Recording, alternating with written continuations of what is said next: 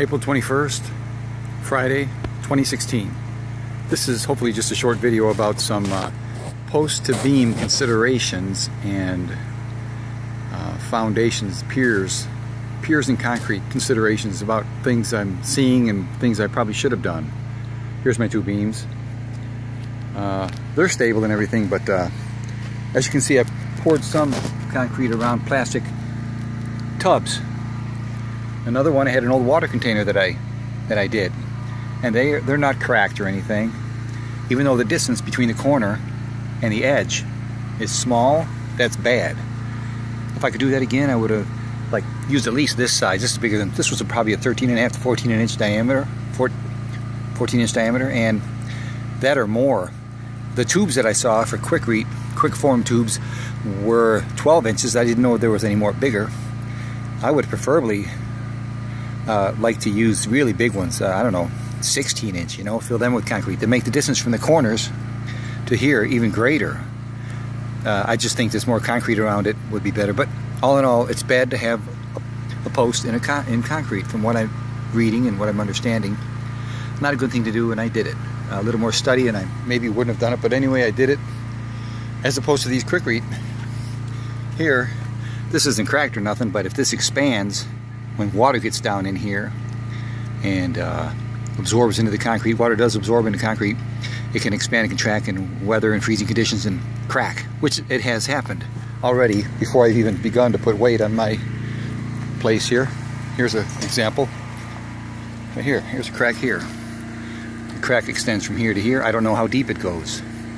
And you can see the uh, path of least resistance possibly from there to there. I mean, it's only four inches. If I would have used a tube that maybe was about here.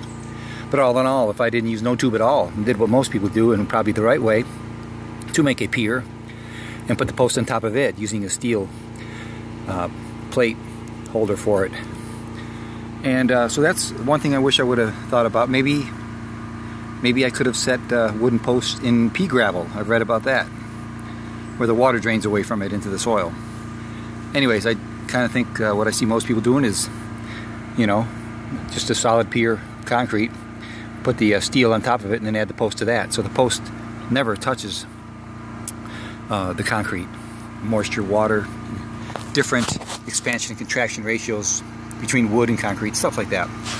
So that's one thing I should have thought about. Another thing is, I happen to use one of my posts. All my posts are 4x4 posts, which are actually 3.5 by 3.5.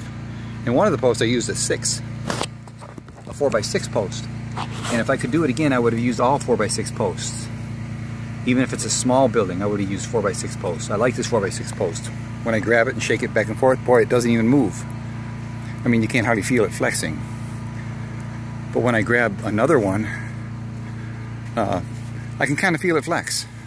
I can even kind of see it flex a little bit. Of course, when the floor joists come across these two beams here, it's going to be all one piece, so to say, as the floor joist 16 inch on centers goes perpendicular to those beams. It'll all become one piece and everything be really solid.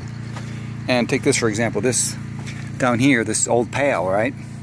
Maybe the expansion and contraction that I was talking about wouldn't cause the concrete to crack because it because of this plastic kind of holding it all in. Maybe I'm wrong. Just a thought. Maybe it's better to use that.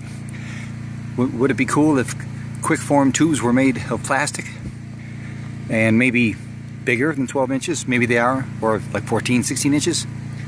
Uh, some other considerations are when the post which is three and a half inches and you do all you can this is a 4x4 post three and a half inches actually that's what they are supposed to be. And then the beam that I have a half inch plywood in sandwiched in between two 2x is actually three and a half inches also and uh, well, if they don't match, if those widths don't exactly match, you got a, a, condition where they can move, where it can move even with the gussets in place until I get it bolted up with the carriage bolts. It, it helps out. So that's another condition that you need to watch out for and try to do all you can to get both of these widths the same.